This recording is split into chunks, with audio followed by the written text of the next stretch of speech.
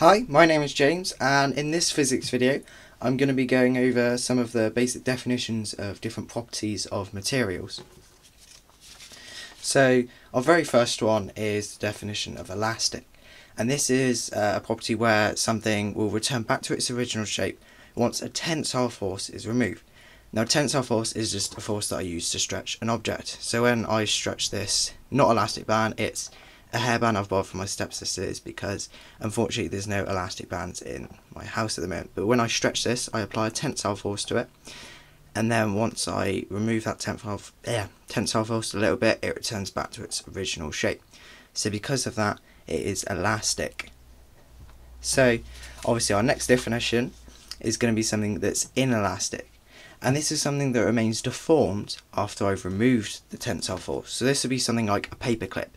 If I bend this, you can see there it's not uh, it's not bending back unless I push it, so it stays deformed. This is because it doesn't apply something called a restorative force. So this is just sort of the counter force you get when I apply um, my tensile force to something elastic when I pull it up to a point, I'm still applying a tensile force to keep it this stretched, and it's applying an equal and opposite force called a restorative force to keep it from um, stretching anymore.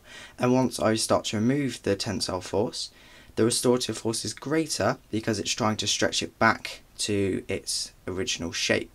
The atoms are you know, sort of joined together and they're all pulling themselves back together because they want to be in its original shape.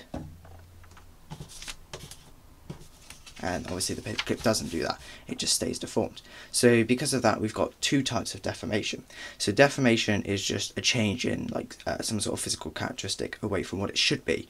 So in physics it's just like a change in shape. So when I pull this elastic band it goes from being this ring to being this long stretched out sort of or you can stretch it out into any shape really uh, that isn't a ring. Uh, but this is just a temporary change in uh, shape because it's something elastic being stretched.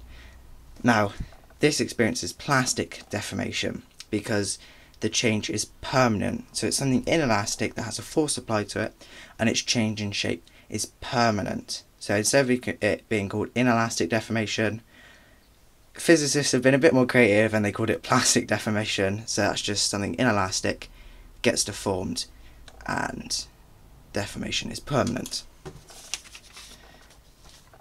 So you've obviously got different types of deformation. Like I said, I could stretch this elastic band into pretty much any shape I wanted. So I didn't have to stretch it from a circle to just two lines. I could stretch it into whatever I want. Uh, so something that's malleable is good for being deformed plastically under compression. So if I wanted to hammer something into a sheet for like a car door, just shape for a car door, something like that.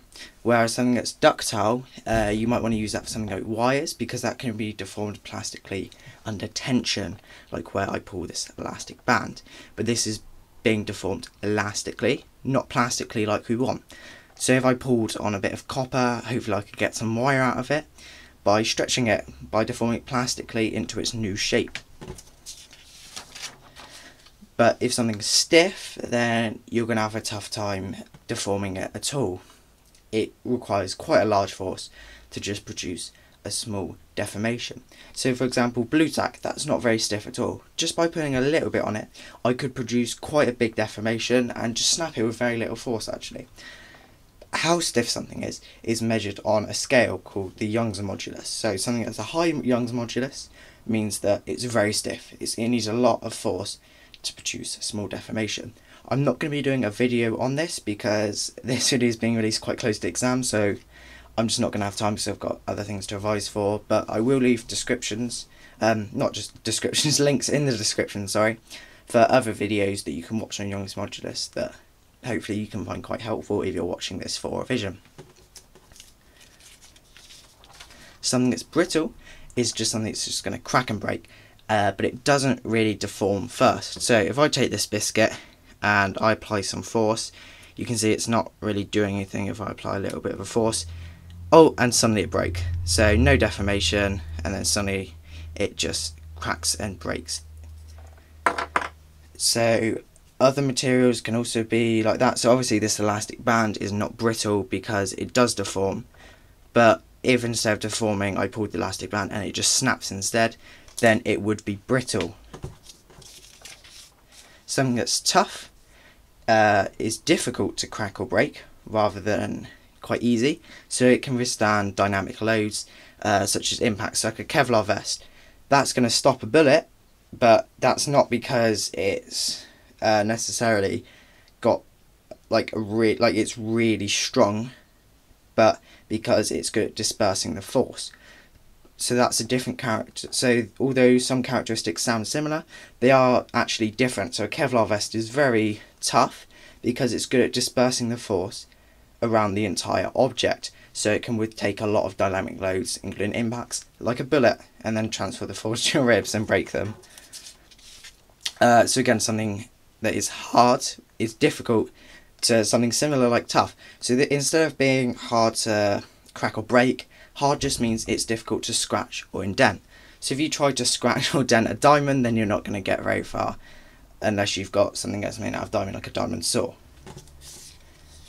Whereas something durable uh, retains all of these properties we've talked about. So an elastic band is reason oh well this hairband is reasonably durable because if I stretch it and stretch it over and over and over and over again eventually it'll deteriorate but for the most it's going to stay quite elastic. So it's not it is going to retain its property of elasticity. So diamond's the same. If you hit a diamond with a hammer a thousand times then the thousand and first time isn't going to get lucky because the diamond is no longer hard. It's still hard because it's durable. It retains this property after a lot of forces have been applied. So it retains properties over a long period of time uh, the last two definitions is a smooth and a rough surface. So smooth just means it doesn't produce very much friction. So like this table produces, uh, say quite a bit of friction, but it's smoother than something like a bit of sandpaper, which is very rough, which is going to produce quite a lot of friction. It's going to produce very high levels of friction because it's a rough surface. So that's all for this video. I've gone through quite a lot of definitions, I think. Hopefully it'll be useful for revision if you're doing AS Physics and I'll see you in the next video. Bye!